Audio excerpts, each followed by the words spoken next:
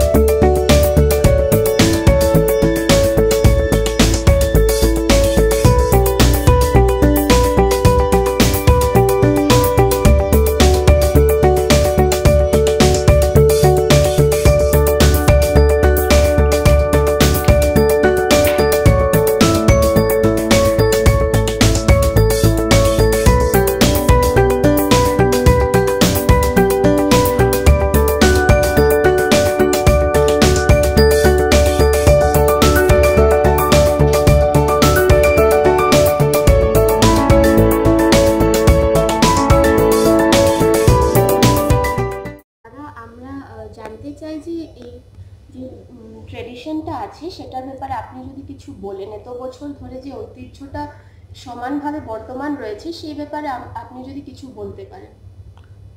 এই জিনিসটা হচ্ছে পুরুলিয়ার আচ্ছা। ট্রেডিশনাল ছমুখর এটা আমার তো ঐতিহ্য বলতে এই জিনিসটা ছৌ নাচের ব্যবহার এবং শোপিস এই জিনিসগুলো দেখছেন এগুলো সব ছৌ নাচ এটা হচ্ছে ছৌ নাচের মুখোশ এটা পরে আমরা ড্যান্স করি ট্রেডিশনাল ছৌ হুম। এটা তৈরির ব্যাপারটা বলে দিচ্ছি। এই জিনিসটা যেমন প্রথমে মুখোশটা মাটিতে আমরা ডাইসটা বানালাম। বানালাম তো? এটা হচ্ছে ডাইস টেক্সচার। আচ্ছা। তারপর এর উপরে এই যে ছাই রয়েছে উনানের ছাই দেওয়া যায়। ছাই দিতে হবে মানে যাতে আঠাটা না ধরে। আচ্ছা। ছাই দেওয়ার পর ময়দা এবং তুতে মিক্স করে আঠা তৈরি করা হয়েছে। এটা প্রায় এই কাগজ দিয়ে যেটা আমাদের মোটা বই পেপার হবে না। এইসব বই দিয়ে আঠা দিয়ে দিয়ে প্রায় পাঁচবার ছবার কাগজে আঠা দিয়ে এর উপরে সাটা হবে। আচ্ছা। কাগজটা নরম করে আঠা দিয়ে দিই পাঁচবার ছবার ছাটার পর ছাটার পর এটা রোদে আমরা শুক- শুকোতে দিয়ে দিই। শুকোনোর পর এই যে নদীর ধারে যে মাটিটা পাওয়া যায় পলি মাটি কাকর নেই এটা পুরো একদম মলাম টাইপের মাটিটা যাতে কাকর থাকে না কাকর থাকলে জিনিসটা ফিনিশিং ভালো হবে না। পাতলা করে ওর উপরে এই মতো কাগজ ছাটার পর, শুকোনোর পর ওর উপরে পাতলা মাটি দিতে হবে। মাটি দেওয়ার পর চোখ মুখ ফিনিশিং করলাম মাটিতে। তারপরে কাপড় ছাটানো হবে। এঁটেল মাটি ঘোলা। এঁটেল মাটিটাকে পুরো ঘোলা করে মানে পুরো পুরো টাইপের কাপড়ে ছাঁকা হয়, যাতে কাঁকড়গুলো যেমন না পার হয়ে যায়। ওটা ছাকার পর এই মাটিটাকে যেটা ঘোলাটা আছে, সেই সুতি কাপড় ভিজিয়ে ঘোলার ভিতরে ভিজিয়ে ওর উপরে সাটা হবে। পাতলা মাটি দেওয়ার পর মুখোশটাতে। সাটানোর পর এই যে কাঠের থাবি দেখছেন তো এটা? এটা হচ্ছে আমাদের জঙ্গলের গাছটার নাম হচ্ছে পেঁপড়ো। খুব খুব পালিশ কিন্তু এই কাঠটার খুব পালিশ। এটা আমরা থাপি বলি এটাতে। এটাকে আমরা থাপি বলি, কর্নি টাইপের। এটা আমরা নিজেরাই বানাই বাড়িতে। তারপরে সিরিজ কাগজে মেজে এটা পালিশটা খুব বার করা হয়। তারপরে মুখোশটা কাপড় যে সাটার পর, এটা দিয়ে আমরা পালিশ করব। দুবার। প্রথম ওই পালিশটা হচ্ছে মানে মুখোশটা বসানোর জন্য কাপড়গুলো বসানোর জন্য। পালিশটা বার হওয়ার পর ছোটো কর্নি আছে। ছোটো বড় কর্নিটা ব্যবহার হয় যে বড় বড় জায়গাগুলো। ছোটো কর্নিটা হচ্ছে চোখে চোখের এবং এই দাঁতের সাইড গলা তারপর হয়তো কানের দাগগুলো দিলাম চোখের ইয়েগুলো বার করলাম পয়েন্টগুলো এই ছোটো কর্নি দিই প্রায় দুবার পালিশ করার পর আমরা রোদ্রে দিয়ে দিই। রোদ্রে দেওয়ার পর শুকিয়ে যায়। শুকিয়ে যাওয়ার পর এই যে মাটিটা দেখছেন তো? এটা? এটা আমরা মুখোশটা তুলে পেছন থেকে পুরো মাটিটা আমরা কেটে কেটে কেটে কেটে বার করে দিই। বার করার পর এই যে যে ডাইসটা বার হচ্ছে, কাগজ যেটা ছাটলাম আমরা, কাগজ, কাপড়, আঠা দিয়ে, পাতলা মাটি দিলাম, কাপড় ছাটলাম এই জিনিসটা তুলে আসছে চলে আসছে। এটা হচ্ছে খড়ি মাটি। খড়ি মাটি দুবার দেওয়ার পর আমাদের রং হবে যেটা বডি কালার। বডি কালার পরে চোখ আঁকা হবে, চোখ, মুখ সব আঁকার পর ডেকোরেশন।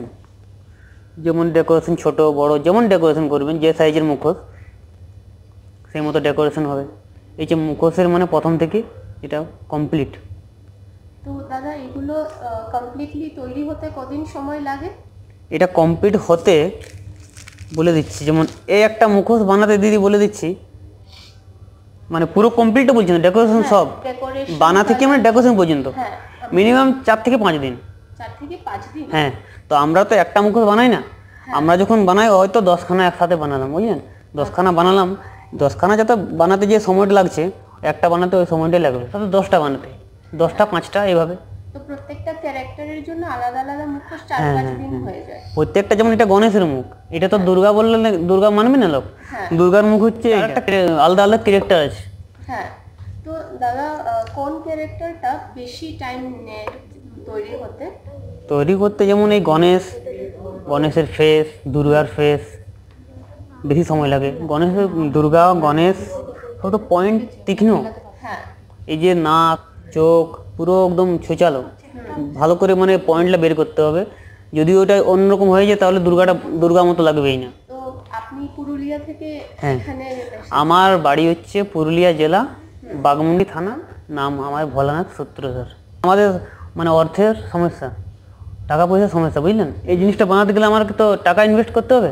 তো শিল্পীদের ওই টাকাটাই নেই ইনভেস্ট করার মতো। মুখোশ বানানোর পাশাপাশি আপনি কি ডান্স করেন? ডান্স হ্যাঁ মুখোশ বানার সাথে সাথে আমরা যেমন ট্রেডিশনাল ছৌ ট্রেডিশনালটা মানে যাতে মরে যায় না মানে আমরা তো মুখোশটা বানাচ্ছি। মুখোশ বানা বানার সাথে সাথে ছৌটাও ছৌ ড্যান্স ছৌ ড্যান্স যেটা সেটাও আমরা রাখছি আর কি। তো দাদা আরেকটা প্রশ্ন যে এখান এখন যে আহ, বিশ্ব বাংলা হয়েছে বিশ্ব বাংলা যে আমাদের ওয়েস্ট বেঙ্গলের বা বেঙ্গলের ট্রেডিশনের অনেক কিছু হারিয়ে যাওয়া জিনিসগুলো যে বের করে নিয়ে আসার জন্য কাজ করছে সেই ব্যাপারে আপনি কিছু বলবেন বিশ্ব বাংলাতে বিশ্ব বাংলা হয়ে আমাদের শিল্পীদের অনেক ডেভেলপ হয়েছে যাতে আমাদের শিল্পীদের ধরুন না একটা একটা জায়গা তৈরি মানে জায়গা পেয়েছি